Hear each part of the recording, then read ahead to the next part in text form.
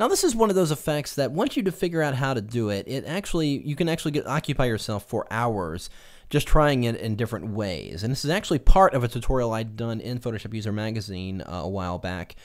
And um, rather interesting use of filters in ways you probably didn't think of. And this, uh, I've actually done this on uh, Photoshop User TV as well. So what we're going to do is actually do some interesting brush effects, but take it that step further and see what we can do. So let's uh, first create a new a new document here. This is the document we're ultimately going to create this effect in, but let's create a new document for the moment because I want it to be a perfect square document. So I'm going to go ahead and make it 5 by 5 inches at 100 pixels per inch. And let's go ahead and move this one out of the way. And I'm going to go ahead and make the background black simply by pressing Command or Control I, and that inverts the white background to black. Now what I want to do is go and add a lens flare. So go under the filter menu and go down here to render and choose lens flare. Now you have several choices, of course. The most commonly used one is this uh, first one, the 50 to 300 millimeter, but I want to use this one down here at the very bottom called Movie Prime. And you can see it, um, I can actually move it around if I wanted to, and it actually acts like a real flare, but we're just going to kind of keep it in the center for the most part here. And the brightness I'm going to go ahead and leave at 100%, and we'll click OK. So there it is. So now I don't know, I don't need the color um, in this particular flare, so I'm going to go ahead and remove that by simply pressing Shift Command U, it'd be Shift Control U on Windows, and that just goes ahead and makes it black and white. Now I'm going to go into the image menu to adjustments and choose invert, and that's going to flip the colors around, making the flare dark and the background uh, white, which is exactly what we want when we're defining a brush for this, because we're going to make a flare brush out of this. So before we do that, I'm going to go ahead and grab the gradient tool and make sure I'm using a linear gradient. And let's make sure we set the foreground color to white because I am using a foreground to background, or, or rather foreground to transparent uh, gradient here. So I'm just going to draw a gradient in from the left side and again from the right side just to kind of get the right blend mode here.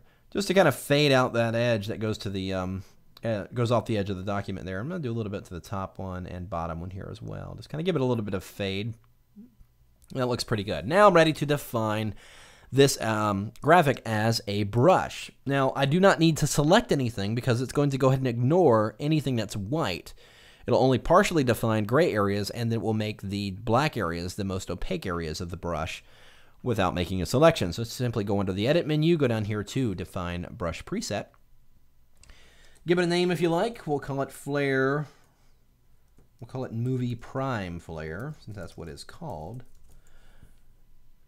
and click OK. Now that brush is defined. So let's go back into the document we created a moment ago, or created earlier, and I'm going to create a new blank layer. Now let's go over here into the toolbar and grab the brush tool.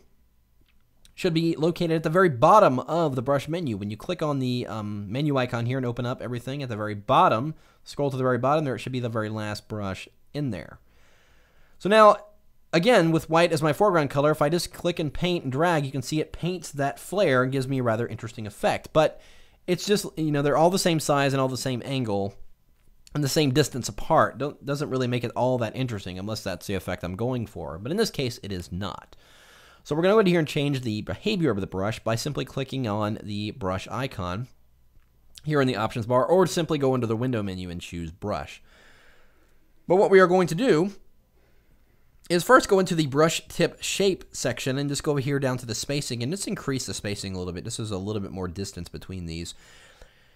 And then activate shape dynamics just below. Now you have several choices when you want this um, to behave a certain way. In fact, what I want it to do is vary the size of the graphic as I paint. Now I can do this by moving this slider.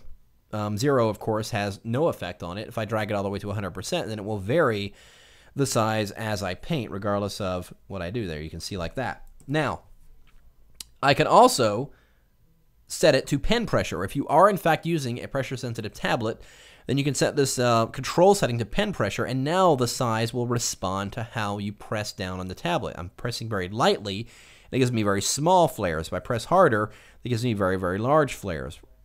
So I can do it by pressure or by doing it manually with the settings in here. Uh, I tend to have different reasons for using either one, but in this case, I'm going to go ahead and use the size jitter setting and push it all the way to 100%. So now what I can do is just go over here and I'm just going to paint and just generate a random field of flares. Now at this point, you could, you know, I could stop the tutorial here and you'd have a pretty good technique for creating an interesting flare brush. But why stop there?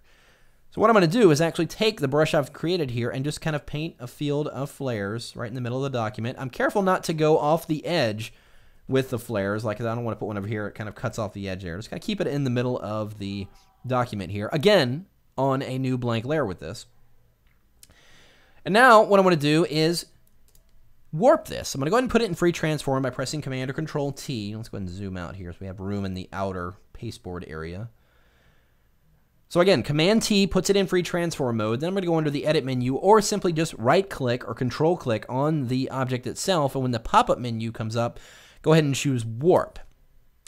Now, it's going to manually warp it. You'll see that the warp grid has shown up on the image now. What you can do is grab the control handles, of course, or just click anywhere inside the grid and move the uh, graphic around to distort it. So I'm just going to do this and just try it. And there's no formula here. It's just a matter of pushing this thing around and doing something until it looks somewhat interesting. But can't fully see what it's going to look like because sometimes things will overlap. So we just kind of of go on a little bit of faith here, but I'm just going to distort this a little bit more so we get a little bit more of a interesting result here.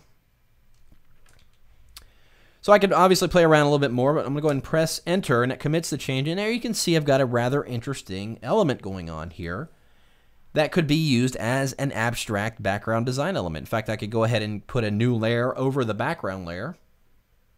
Let's grab the gradient tool and get Everybody knows I'm partial to blue. Let's do something different. Try purple, actually. So I just take the radial gradient, again, foreground to transparent, and just add a couple of gradients in the background here.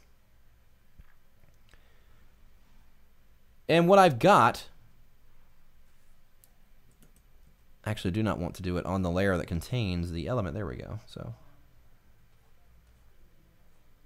so just adding some background elements here. Now, if I go back to that layer containing the graphic piece, I'm just going to go ahead and change it to overlay. And if I make a couple of duplicates by pressing Command J a couple of times, you can see I've got somewhat interesting graphic that blends in with that background. I'm going to add more, more color here. There we go. But now I'm getting something that really started with nothing. Really just started with a flare and then defining it as a brush and then warping it this way. You're, you're taking it a level deeper each time, ultimately um, giving you something that's um, really, really interesting that you can use for whatever. In fact, I'm going to use um, some more flares of those same flares